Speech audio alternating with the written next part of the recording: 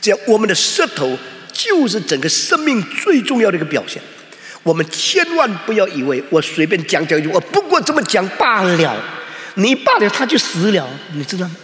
有的人因为你一句话去自杀，你知道吗？有的人因为你讲一句话，他一生就不奋斗，你知道吗？有的人因为你讲一句话，他一生就振作起来，永远不退后，你知道吗？那么你应当怎样以你的舌头利诱？好像又不以他的眼睛利诱，我怎么可能继续不断看那些处女呢？我以我的眼睛利用，我绝对不一直注视那些处女。他是个结婚的人，他眼睛利用。我相信我们每个人要以我们的耳朵利用，我们要以我们的眼睛利用，我们以我们的舌头利用，我们以我们的手利用。我这个手既然做了圣功，我就不能再参与其他败坏的事情。我这个口既然决定奉献给主，我的口不应该这样讲不造就人的话。一言兴邦，一言败国。一句话可以使人火热起来，一句话可以使人整个灵性垮塌下去。所以你怎样约束你的语言，怎样勒住你的舌头，你就成一个完全人，你就成了一个有灵性的人。一个人如果能够勒住他的舌头，他就能勒住全身。一个人在语言上没有过失，他的整个生命就变成一个完全人。这样简单，原来就是这句话。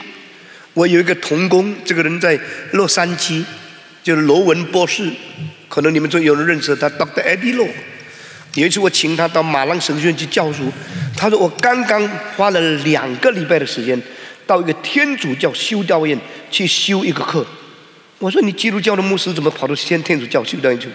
我这个修课跟别人不一样，什么课呢？安静课。什么叫安静课？没有人教的，就是呢，我要付了好多钱。然后付了钱，又进进到修道院，到了修道院呢，就决定两个礼拜不讲话。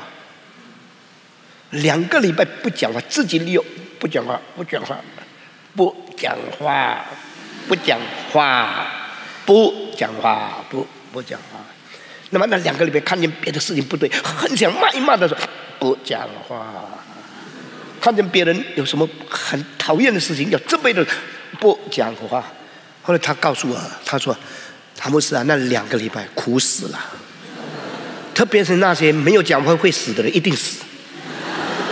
经历了很多的人，不讲话会死，而且专讲烂话，专讲错话，专讲不好的话，专讲没有造就人的话，专讲误会的话，专讲令人误会引起争端的话。你知道你的眼里犯上的错？”你的眼里制造的麻烦，你的眼里产生的毁坏性的教会里面的一切的事情，多少你知道吗？我们能不能今天以我们的舌头理由主啊，约束我，在我还没有约束别的事情以前，先约束我的舌头。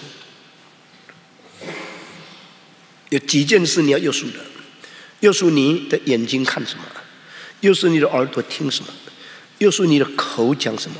又说你的手做什么？又说你的身体干什么？